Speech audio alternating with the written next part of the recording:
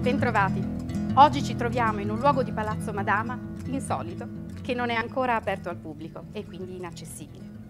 Siamo nel sottotetto che si trova sopra il Senato. A questo luogo si accede attraverso la nostra torre romana.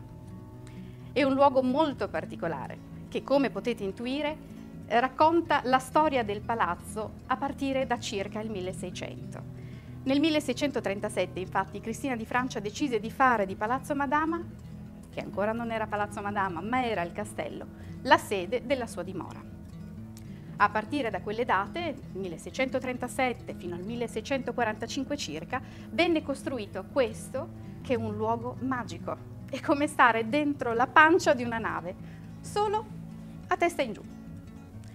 Si tratta di capriate palladiane miste, con una carpenteria, beh, si racconta da sola, importantissima, fatta attraverso dei legni che delle indagini dendrocronologiche condotte dal Politecnico di Torino hanno certificato essere vecchi di circa 200-300 anni rispetto al loro utilizzo, quindi si tratta di legni storici, storicizzati, come la lunga trave in rovere di circa 22 metri che fa da catena sotto la nostra finestra. È un luogo che permette di osservare Torino dall'alto, ma Palazzo Madama dall'interno.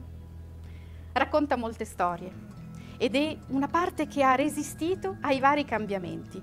Fra i vari cambiamenti c'è stato anche quello di ospitare l'osservatorio di Torino. Voluto da Giovanni Plana e costruito intorno al 1813, dal 1813 fino a circa il 1823, sulle due torri di Palazzo Madama avremmo trovato la specola e l'osservatorio.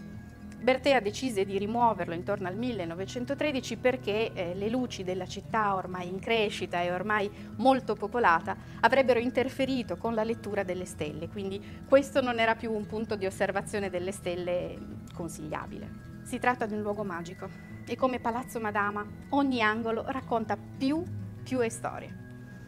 Fra queste storie, quella del decumano massimo, che noi possiamo ancora osservare e intuire attraverso via Garibaldi. Si tratta della linea che idealmente e anche fisicamente avrebbe eh, unito l'est all'ovest e non a caso infatti si trova fra le nostre due torri romane. Lo sguardo su Torino permette di leggere una stratigrafia complessa che parte appunto dall'antica Roma e che arriva fino ai giorni nostri e ci consente una visuale inaspettata, sorprendente, possiamo vedere l'esterno e possiamo anche intuire l'interno.